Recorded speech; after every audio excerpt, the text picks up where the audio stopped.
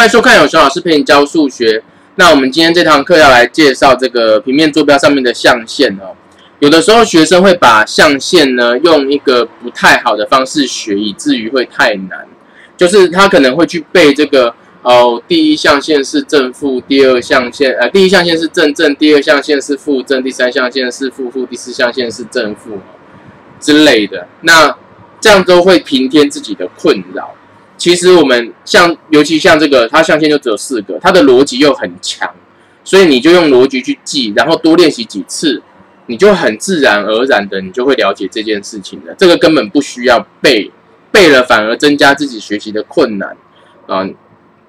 这个一条线哈，左右两边是 x，x 在中间点是零，x 在零的右边是正的。左边是负的，哦，我遮错了，对，应该说这边是正的，这边是负的哈。那 y 在上面的话是正的，下面的话是负的嘛？其实就这样了，对不对？所以如果说这个，比如说第四象限，第四象限是 x 正的，y 负的。那我们来看一下这里哈，以下各点在第几象限？我们也不用去标，我们就来想一想，一二在第几象限？正的正的正的在右边，y 正的在上面，第一象限嘛。我们的象限是一二三四这样子绕一圈的嘛。所以一二是第一象限哈，负一二嘞，啊，负一二对不对？在第二象限，负一在 x 负的在左边，y 正的在上面嘛。这个三负一嘞，x 正的在右边，y 负的在下面嘛，第四象限嘛。啊，那这个哦。我们刚刚第二个题目是负一负二哦，我没看好题目。负一负二的话，x 是负的，y 也是负的哦，这个是第三象限。那如果是负五一的话，x 是负的，y 是正的，好，x 是负的图形在左边，y 是正的图形在上面，所以是第二象限，对不对？所以其实用逻辑去推论就好了。那你多做几次，这个问题就会学起来了哈。不要不要，就是。不要去记口诀去背啦，哦，没有必要。好，来看一下五零这一点哈，五零这一点它其实是在 x 轴上的哈。那 y 啊零负三这一点在 y 轴上，你会发现 y 轴上的点的 x 是零，然后 x 轴上的点的 y 是零哈，所以有 x 的值的哈，就是在 x 轴上，没有 y 值。那没有 x 值的哈，x 值是零的，它就是在 y 轴上哈，零零是原点哈。这个 x 轴上、y 轴上和原点，我们都不说它是第几象限啊，因为它在轴上，这样子。所以其实象限是很好判断了。那难是难在哪里哈？难在后面的延伸。来看下面这一个，a 大于零，b 小于零的时候，a 乘 b，然后 b 平方，这样这个在第几象限？因为 a 是正的，b 是负的嘛，对不对？好，a 是正的，b 是负的，正负得负，然后平方完一定是正的哈。b 平方 b 是负的，但是它负负得正哈，平方完一定是正的，所以负正哈。那我刚刚讲，就是不用去背这个。你想，x 是负的，y 是正的，所以它是第二象限。那说真的，你判断久了，你自然就会很快记起来。虽然说不用背，也是会自然而然像背起来一样。可是就是不用把它当口诀去念那因为你把它当口诀去念，可是你本身没有这个快速推论的能力的话，你背错了自己也不知道啊。啊，那到时候你比如说考试考出来，哎哎，第二象限是正负还是负正呢？嗯，好，然后犹豫，这样没有意义，对不对？应该是说赶快判断一下第二象限，所以 x 是负的，y 是正的。这样就好了。来看下面这个 a 减 b，那因为 a 是大于零，b 是小于零，一个正数减一个负数，哦，减负数会变加，所以它会越减越大，哦，所以这个 a 减 b 是正的。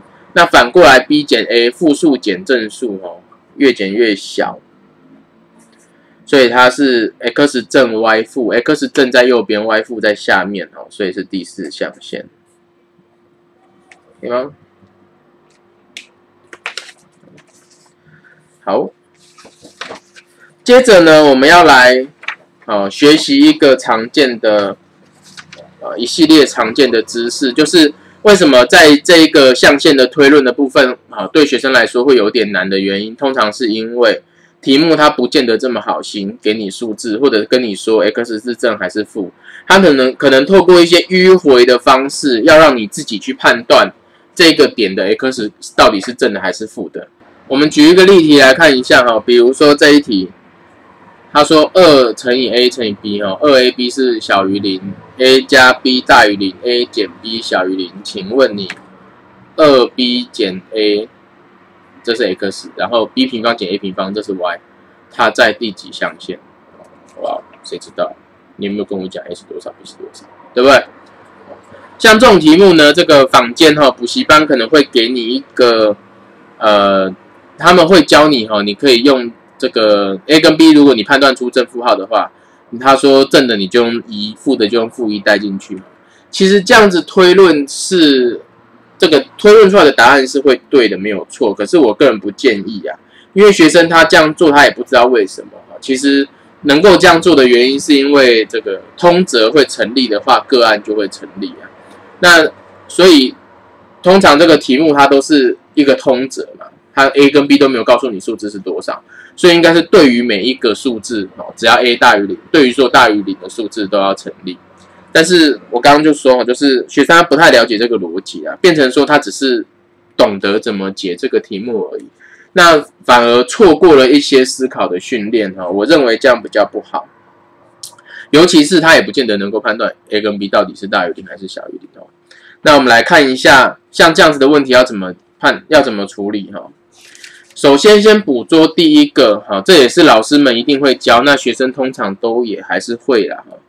如果 a 乘 b 大于零，代表 a 跟 b 同号，a 和 b 哦，就是顿号，哈，a、b 同号。什么叫做同号？就是说，如果 a 是正的，b 就是正的；如果 a 是负的，那 b 就是负的，哦，这样叫做同号，也就是他们是正正或负负，哦，两个是同号。那如果 a b 小于零，就是那代表 a b 是异号哦，顿号，a b 是异号。也就是说，它 a 如果是正的，b 就是负的；a 如果是负的，b 就是正的。因为正负得负，负正也得负，所以小于零就代表它们乘起来是负的嘛。那这个大于零就是乘起来是正的哈，所以他们应该是正正得正或负负得正这样子。好，光是知道这个还没有办法判断出来到底 a 是正还是负的，对不对？所以下一步，如果你知道 a、b 同号，你又知道 a 加 b 大于零，好，那这样子你就可以判断他们两个哈，要不然就是正的跟正的，要不然就是负的跟负的。如果他们是负的跟负的加起来应该是负的，如果他们是正的跟正的加起来就应该是正的。所以说，如果今天告诉你 a 乘 b 大于零。好，也就是他就会告诉你 a、b 同号的话，那么他又说了 a 加 b 大于零的时候，其实这个时候 a 就是正的，b 也是正的，可以吗？好，那如果他告诉你 a、b 同号，又告诉你 a 加 b 小于零，也就是说其实两个都是负的，可以吗？好，那其实到这里哈，通常就可以解题了，就是。呃，你就知道 a 跟 b 是正的还是负的哈，然后去解后面的题目。那但是呢，我们可以再来补充一下哈，如果他又告诉你了你 a 减 b 大于零的话，我们把这个 a 减 b 大于零这条式子哈，你在下面画一个箭头，它的意思其实就是 a 大于 b 的意思。也就是说 a 在竖线上会在 b 的右边，所以在竖线上面零 b。a 就是 a 跟 b 都是正的，而且 a 在右边。如果是这个的话，它在竖线上面是啊零 a b 这样子，可以吗？这个如果他跟你说 a 乘 b 大于零，也就是 a b 同号，结果 a 加 b 小于零，代表 a 跟 b 都是负的的时候，又告诉你 a 减 b 大于零。一样的道理哈，这个仍然意思是 a 大于 b 哦。那 a 跟 b 都是负的，结果 a 大于 b 哈，其实是代表 a 负的比较少。好，就是在竖线上面哈，只要是 a 大于 b，不管是正的还负的，只要是 a 大于 b，代表在竖线上 a 就在 b 的右边。所以这个在竖线上面画起来，它的图案会是这个零 a b 这样子，零 a b 哦，你看我是算给你看哈，比如说我现在有一个 a 是负三，b 是负六，那这样子 a 就比 b 大，a 在竖线上，a 在 b 的右边哈，a 负的比较少，所以 a 比 b 大。你拿负三减负六减出来会是正的，正三。可是如果你拿负六减负三减出来就是负的了。所以只要 a 减 b 是正的，代表 a 比 b 大，代表 a 在图形在竖线上面，a 在右边。这个时候哈，如果他们两个都是负的，那 a 其实是负比较少。那下面这个哈，如果 a 减 b 小于零，它的意思就是 a 小于 b 嘛。a 小于 b 哈，如果它们都是负的，代表 a 负的更多。好，关于这个正负号哈，然后运算比大小的逻辑，其实可以多带学生练习哈，不只是为了写题目啦，就是思考练习。那这个是在这个 a b 同号的情况下哈，哎，记得这个把它抄在你的笔记本上，对，像这样子整理起来抄在笔记本上。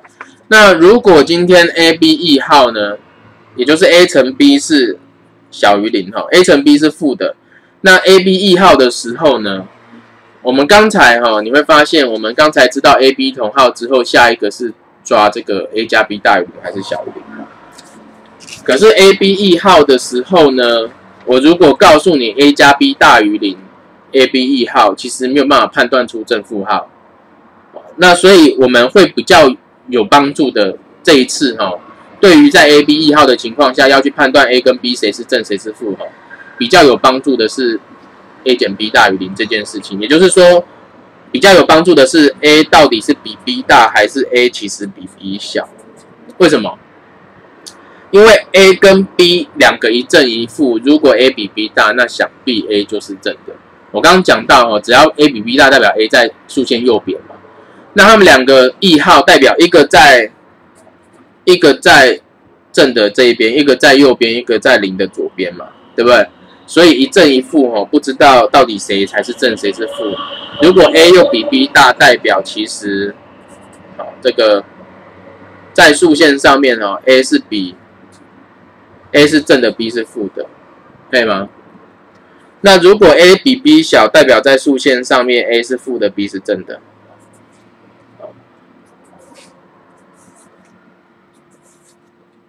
你可以像我这样写啊，你也可以像刚才我们写这样，就写这个 a 大于零，b 小于零，好，这个写 a 小于零，b 大于零都可以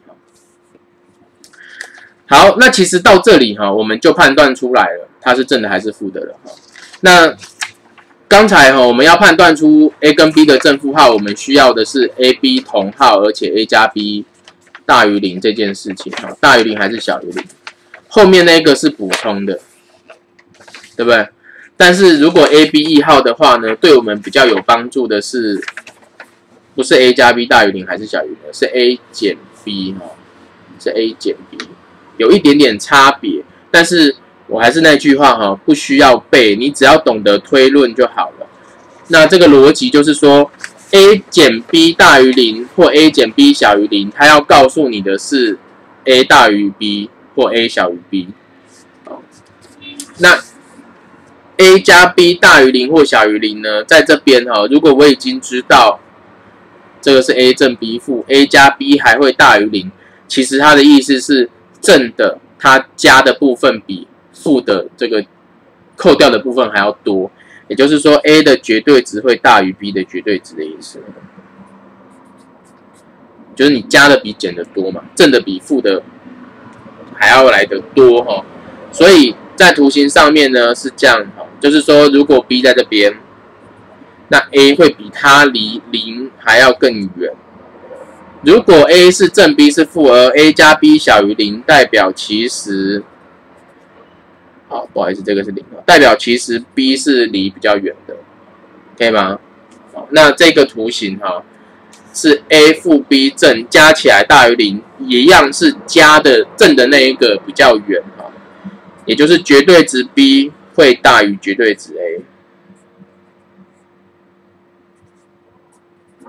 啊。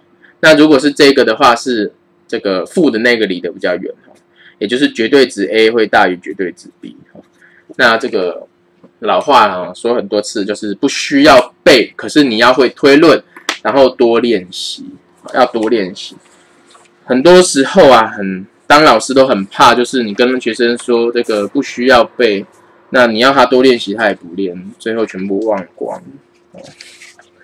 要要还是要多练习哈。来看一下，这里有两题哈，你们试着想想看，运用刚才的知识来回答一下哈。第一题，如果 A、B 这个点在第四象限哈，请问下列这三个点各在第几象限？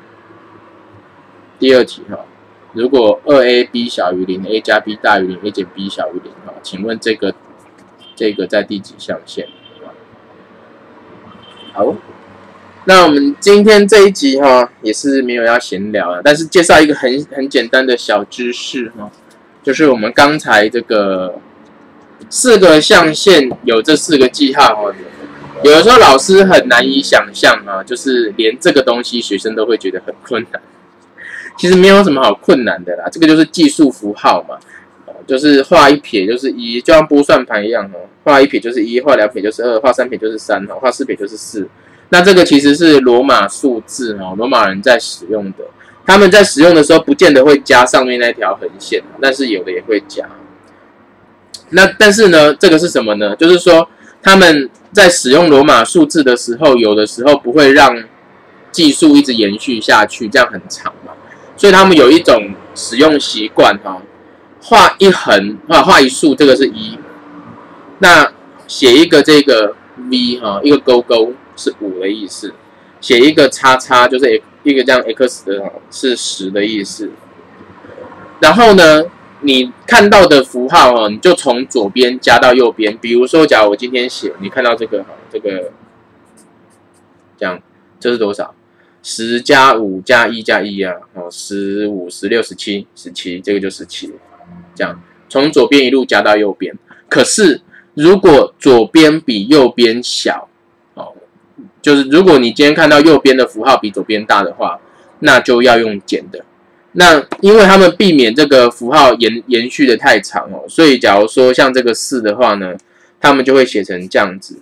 那这个时候你一开始先看到一，对不对？后来看到五，那因为五比一大，所以是用五减一啊，所以这个是四。那如果写成这样，五碰到一的时候，一比较小嘛，所以继续加。所以这个是六的意思。我来看刚刚这两题，这个 A、B 在第四象限哈，那这样是什么意思呢？其实这个的意思就是第四象限有没有？第四象限 x 是正的，y 是负的嘛，所以它的意思就是 A 是正的，B 是负的。可以吗？回答下列的问题哈。A 是正的，所以负 A 是负的。b 是负的，绝对值 b 是正的，所以 x 负 y 是正，这个在第二象限，可以吗？x 是负在右边，y 是正在上面啊，第二象限。然后这个 a 减 b 是正的减负的，越减越多，b 平方也是正的，这个是第一象限。a 大于零，负 a 小于零，负 a 减二，越减越少。那 b 是负的，三减负的其实是好三加一个正数哈，所以是越减越多。好，那这个也是第二象限，这样可以吗？再来看第二题哈，二 a b 小于零哈，其实可以不用看这个二哈，我们到后面学不等式的时候会提到这个二其实可以除掉。那它的意思就是 a 乘 b 是负的啦，你可以想象二乘以多少是负的的话，那个这个多少就也是负的嘛。所以 a 乘 b 是负的，a 乘 b 是负的的话呢，我们刚刚有说，这代表什么意思？还记得吗？这代表 a、b 一号一正一负乘起来才会是负的。如果它两个都是正的，或两个都是负的，乘起来就是正的，对不对？好。a b 一号，所以一正一负。接着啊，我们有我们刚刚有提到哈，当你 a b 一号的时候，取得这个 a 加 b 大于零的效果并没有很大。先来看后面这个 a 减 b 小于零，所以可以推论出来的是 a 小于 b，所以 a 减 b 才会小于零。A b 一号 a 小于 b，所以好，E 号代表一个在零的右边，一个在零的左边，那 a 是在小的那一个，所以 a 是负的，b 才是正的。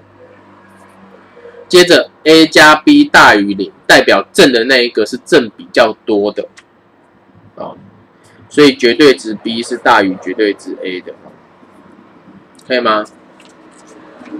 在竖线上画起来是这样子的，哦，b 离的比较远。回答问题，请问哈，二 b 减 a，那 b 是正的，所以二 b 也是正的，减一个负数会。变成加哈，所以是越减越多。然后这个 b 平方减 a 平方哈，那因为平方完都会是正的，可是因为 b 的这个绝对值比较大，所以 b 的平方的那个值也会比较大，所以 b 平方减 a 平方哈会是正的，所以这样是第一象限。那在这里补充两件事情哈，第一件事情就是。我们刚才讲到，呃，再来很快的复习一次哈。a 乘 b 大于零的时候，代表的是 a、b 同号嘛，对不对？也就是他们两个，要不然就是都是正的，要不然就都是负的。如果 a 乘 b 小于零的话，代表的是 a 和 b 都异号嘛。a 跟 b 一正一负，那如果 a 乘 b 会等于零呢？哦，没有提到这件事情。如果 a 乘 b 等于零的话，代表的意思是 a 和 b 有一个是零。哎，不一定有一个哈，至少一个是零，有可能两个都是零。所以这个就是 a 乘 b 等于零的情况。那因为这种情况比较罕见，而且它这个它让你知道他们两个可能有一个是零，没有办法让你判断谁是零哈的话就不实用哦。所以这个比较罕见。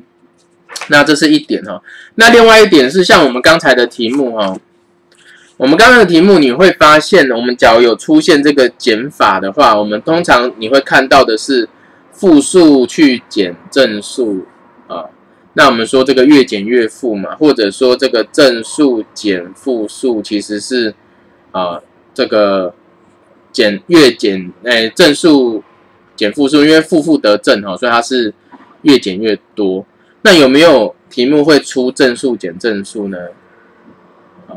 那如果正数减正数，它没有给你其他条件，你是不是就判断不出来减完到底是这多还是少？因为这两个都是正啊，你怎么知道谁比较大？对不对？所以这种题目比较少见哈，包括这个，比如说复数加复数哦，复数加复数或复数减复数。都比较少见哈，这种比较常见，或者是正数加负数，你也不知道它到底。最后会是正还是负？那那比较少见，也不是没有。像我们刚才解的这一题，后来这个 b 平方是正的，a 平方也是正的，我们可以判断 b 平方比 a 平方大，就还是能够推论它是正的。好，所以不见得不行。但是你要能够做到这一点，你就要给够多的条件。你看我们给了三个嘛，让你用来判断他们两个。你不但知道 b 是正，a 是负，还知道 b 的这个数字哈，绝对值的部分比 a 多。你这样才有办法去回答这个问题哈。如果他今天他这个没有给，他只有给你 a 乘 b 小于零，a 减 b 小于零，你只能够知道 a 负 b 正而已的话，哦，像这种正数减正数的问题就答不出来。那在这里说明一下哈，有时候学生可能他学一学，那学生没有问，可是他心里会纳闷，就是说，如果题目不是这样子的话呢，难道也可以这样算吗？哦，那就是。在这里跟学生讲哈，就是老师也可以跟学生说，就是题目通常都会这样，如果不是这样，要不然他就不能算，要不然他就要再给你更多的资料。所以学生有这种疑问是合理的，是合理的。好，同样的作业我们会开放下载图档。